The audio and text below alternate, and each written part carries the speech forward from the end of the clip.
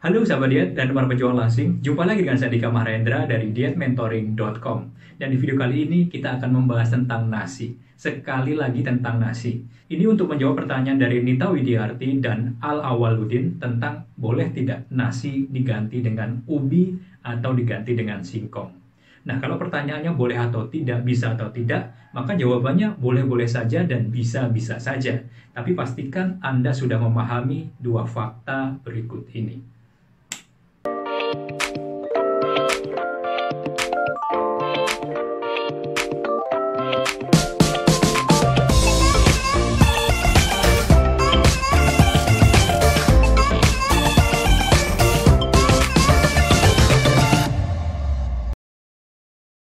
Selamat datang di channel Dika Mahendra, channel yang saya buat khusus untuk Anda yang punya masalah dengan obesitas dan kelebihan berat badan, dan juga untuk Anda yang sedang mencari tahu bagaimana cara melakukan diet yang sehat, atau bagaimana cara menurunkan berat badan secara alami. Jadi kalau Anda serius ingin menurunkan berat badan dan ingin berhasil turun 4-9 kilo seperti para peserta diet mentoring.com, pastikan Anda lakukan subscribe dan mengaktifkan tanda lonceng agar info-info tentang diet yang saya kirimkan bisa langsung Anda dapat dapatkan saat itu juga. Dan seperti sudah saya sampaikan di awal, di video kali ini kita akan membahas tentang nasi. Khususnya, apakah nasi bisa digantikan dengan ubi dan singkong? Dan jawabannya bisa-bisa saja dan boleh-boleh saja. Tapi pastikan Anda sudah memahami dua fakta berikut ini. Fakta yang pertama yaitu tentang angka glikemik index. Angka glycemic index adalah satu angka yang digunakan untuk mengukur tentang seberapa cepat sebuah makanan akan diubah menjadi gula di dalam tubuh Anda. Jadi kalau semakin tinggi angka glycemic indexnya, artinya makanan tersebut akan semakin cepat berubah menjadi gula.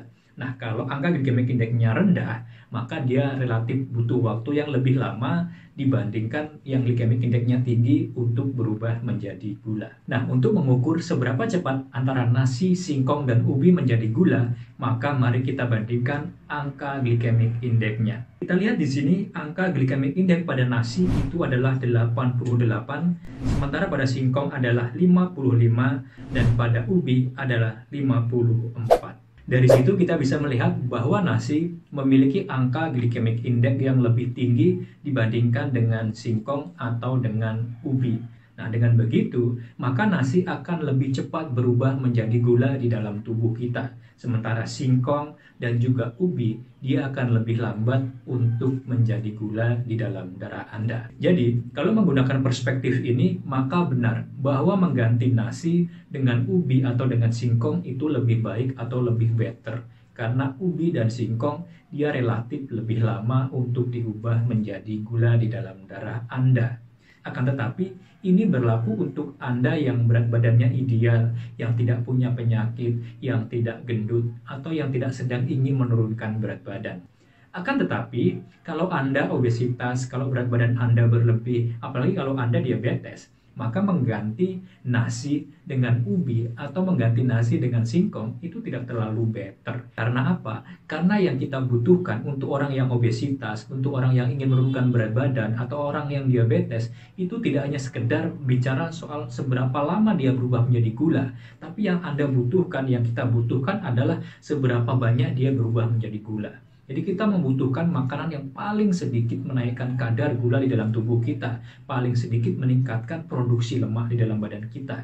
Jadi mengganti nasi dengan ubi atau mengganti nasi dengan singkong bukan pilihan yang tepat untuk Anda yang sedang ingin diet menurunkan berat badan atau untuk Anda yang sedang diabetes. Dari tiga makronutrisi yang paling tepat untuk Anda konsumsi kalau ingin diet atau kalau ingin menurunkan gula bagi orang yang diabetes adalah makanan-makanan yang tinggi lemak.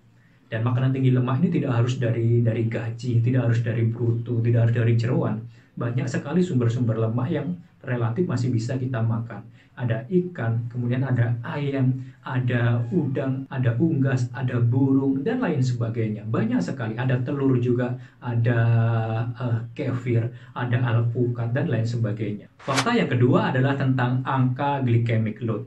Angka glycemic load ini digunakan untuk mengukur seberapa banyak makanan tersebut akan berubah menjadi gula. Jadi tidak hanya ngomong tentang seberapa cepatnya, tapi seberapa besar makanan tersebut akan berubah menjadi gula. Dan untuk melihat seberapa banyak glycemic load pada nasi, ubi, dan juga singkong, cara paling mudah adalah kita melihat langsung berapa banyak karbohidrat yang terkandung di dalam makanan-makanan tersebut.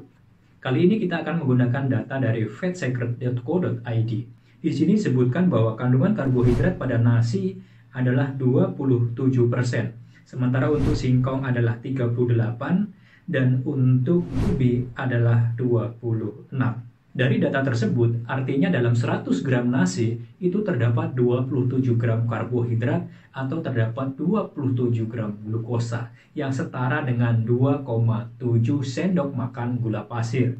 Sementara pada singkong itu terdapat 38% atau sekitar 3,8 sendok gula pasir. Sementara pada ubi terdapat 26% atau dari 100 gram ubi itu 26 persennya adalah karbohidrat atau setara dengan 2,6 sendok makan gula pasir. Dari data itu kita bisa menyimpulkan bahwa mengganti nasi dengan singkong atau dengan ubi tidak terlalu lebih bagus. Karena apa?